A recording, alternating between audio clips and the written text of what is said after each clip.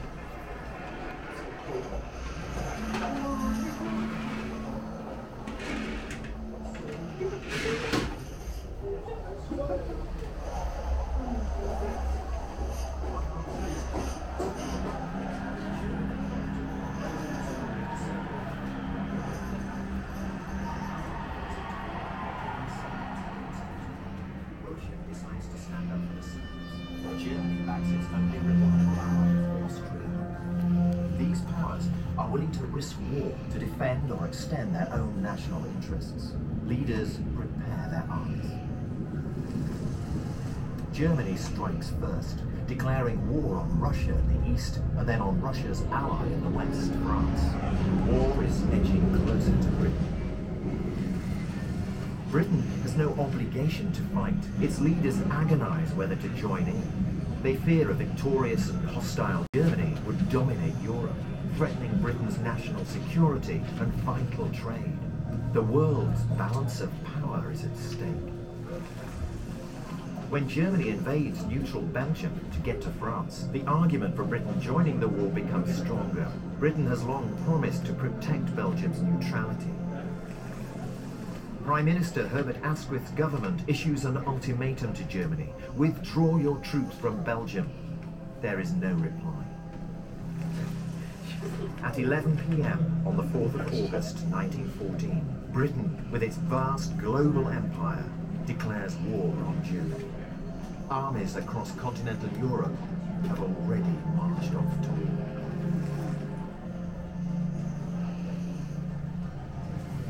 28th of June 1914. A Serbian-backed terrorist murders the heir to the Austro-Hungarian throne. One month later, Austria-Hungary, with German encouragement, declares war on Serbia.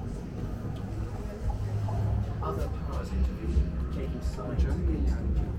Russia decides to stand up for the Russians. Germany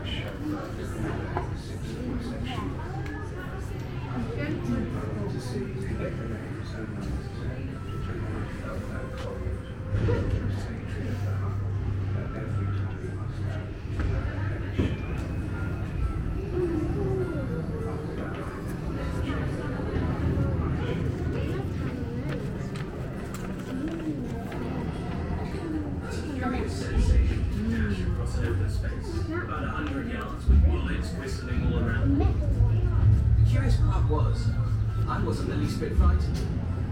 I only kept wondering where it would hit me. Would it hurt much? Would it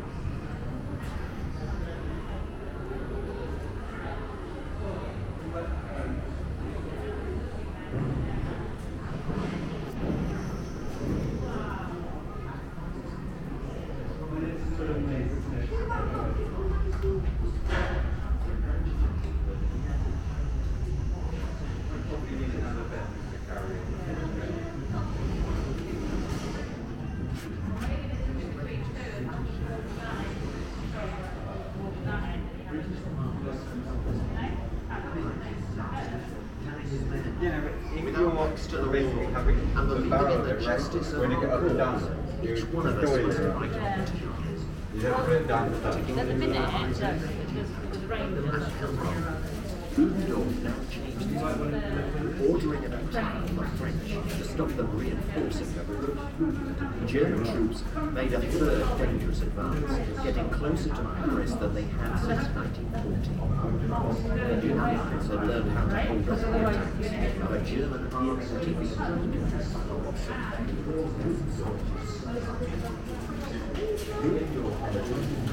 he told the German government that it was essential for Germany to request an armistice, a ceasefire, to save destruction.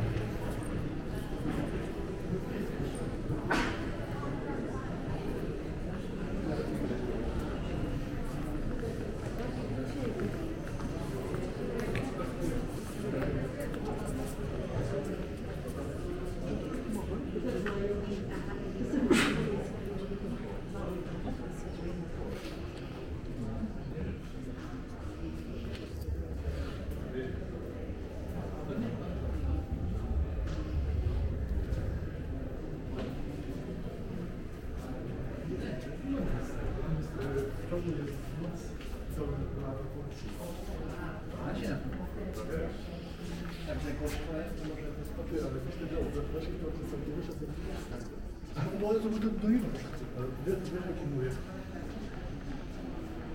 tu dois te faire pour chanter.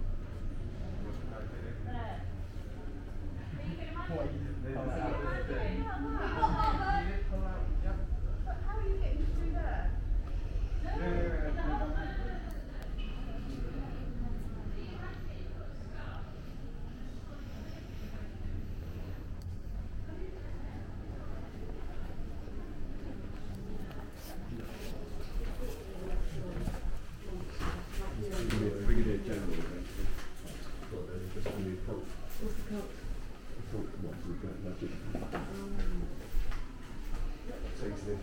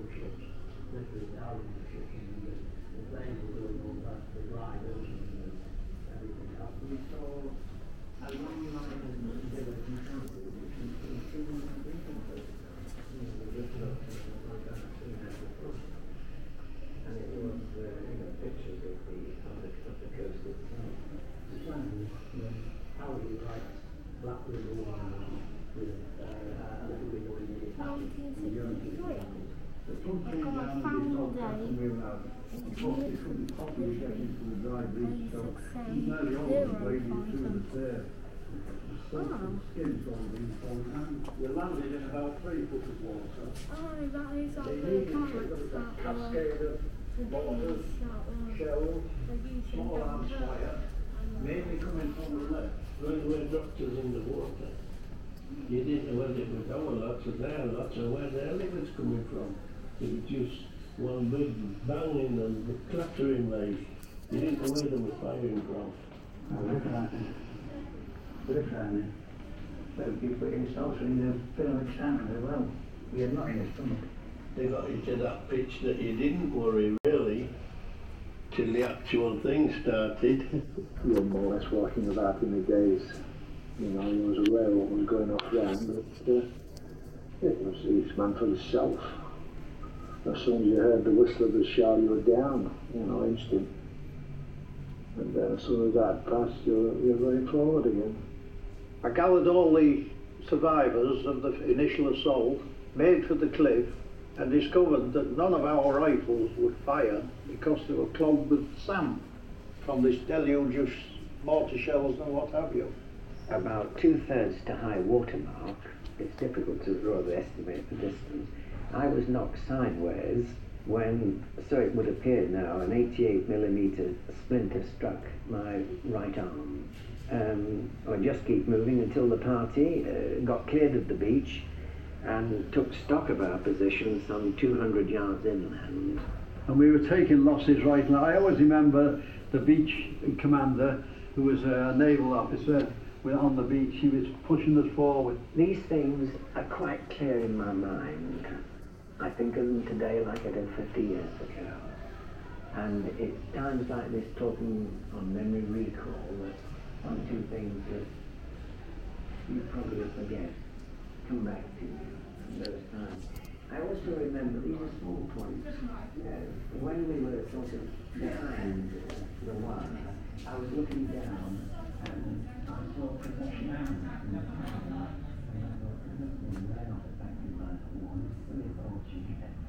That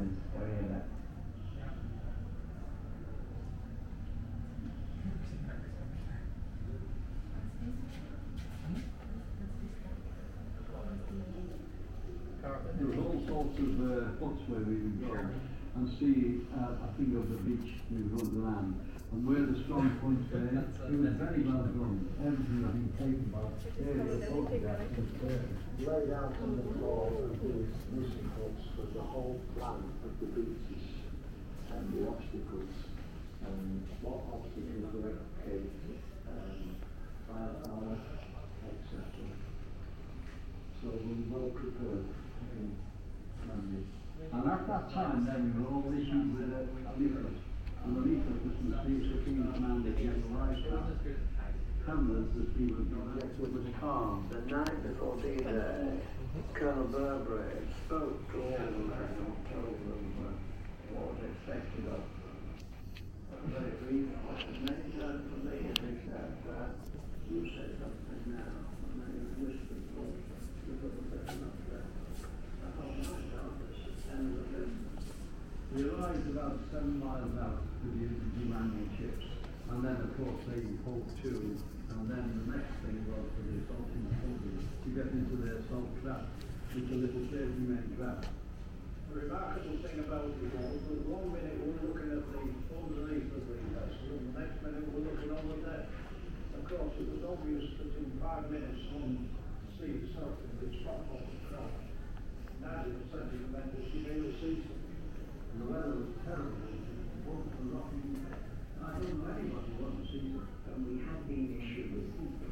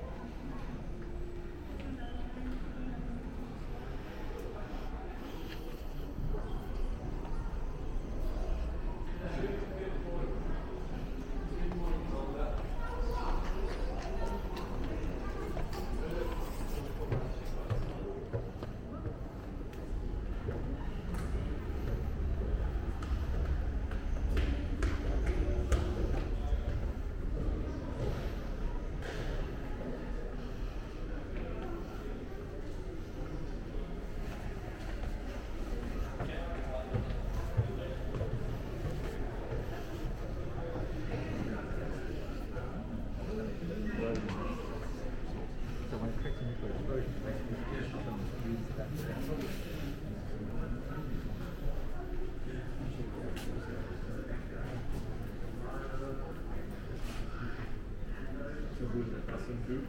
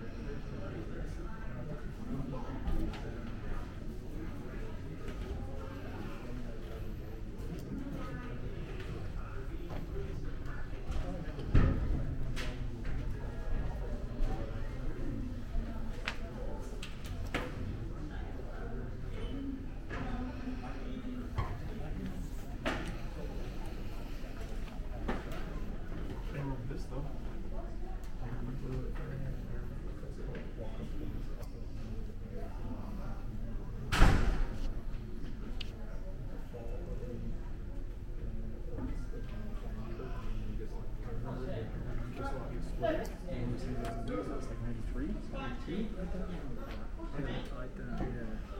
I've never seen it in the news. And probably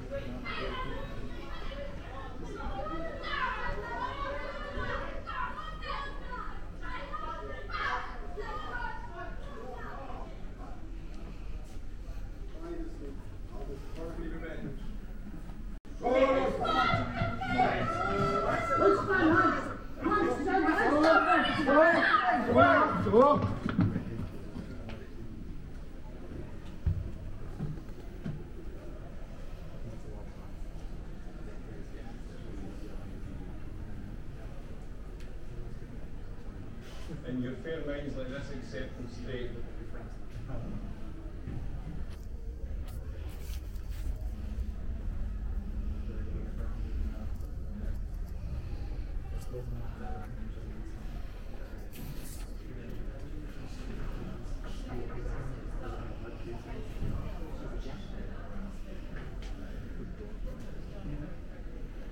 Or can you imagine in this kind of thing? Next one. Right, up we go.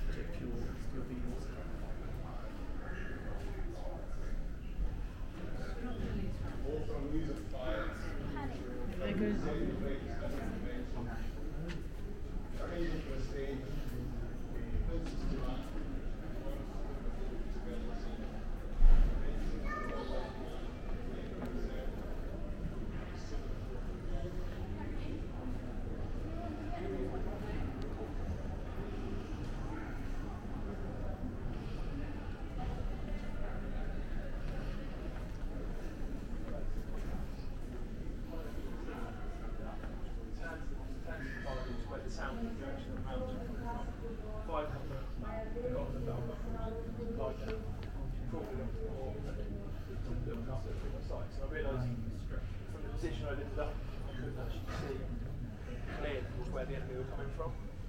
So I was suggesting what we need to do is to peel left and get out and get into a compound. I fired a couple of rounds off and thought, oh, I fired a round the first time there. All hell broke loose when we got to the end. Uh, one platoon got pinned down by HMGs, medium machine guns, small arms, RPGs, right now.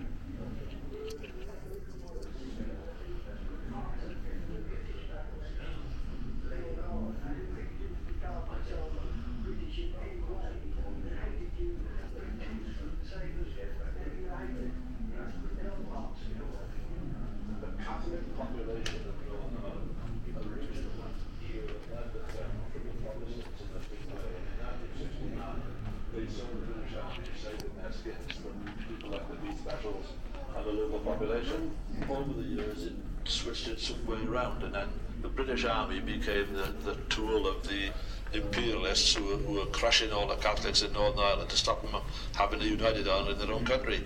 And they became very anti the British Army. I can remember an occasion where we put up football posts for the kids, goal posts, on a piece of waste ground so they could go kick the ball. And we thought that would be more useful than throwing stones at us, but overnight the posts were burnt down. We were there and the French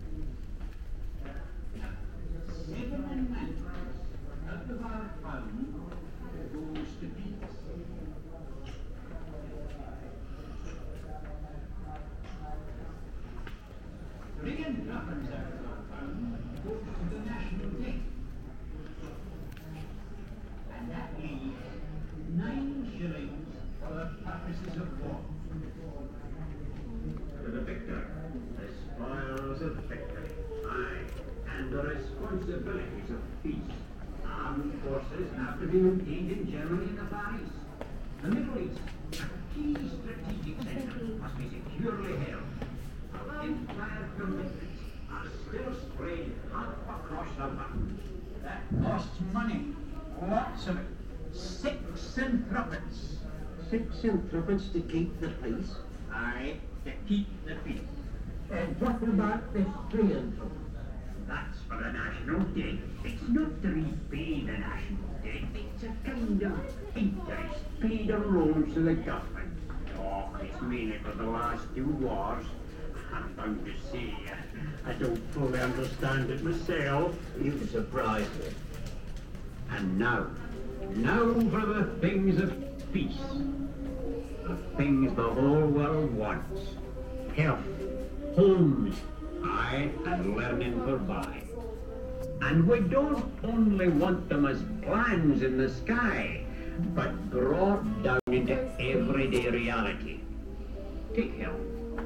Our children's health must be safeguarded from the earliest years. Hence our welfare centres, where baby can be watched and tended. And there are not enough of these, nor of clinics, nor of any such places. This year, fourpence out of our pound comes back to us through our health services. Aye, and in the smiling faces of our children.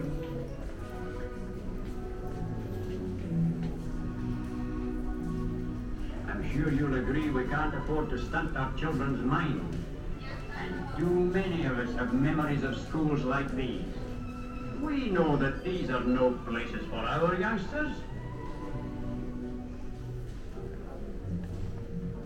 They are going as fast as we can afford to remove them. New schools are building. Is the drive for new teachers. We've raised the school leaving. New ideas are being put into practice.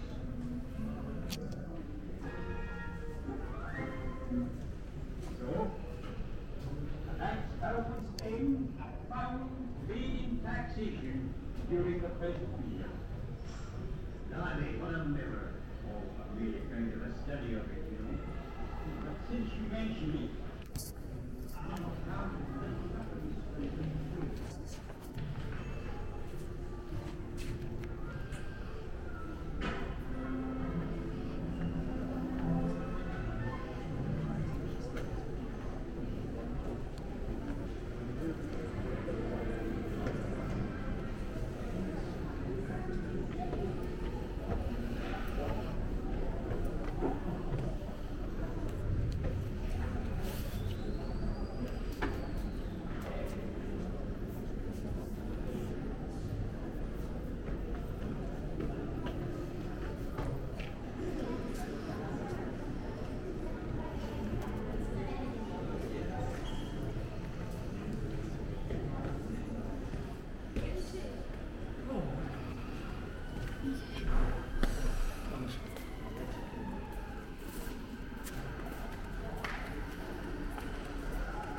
Would we possibly?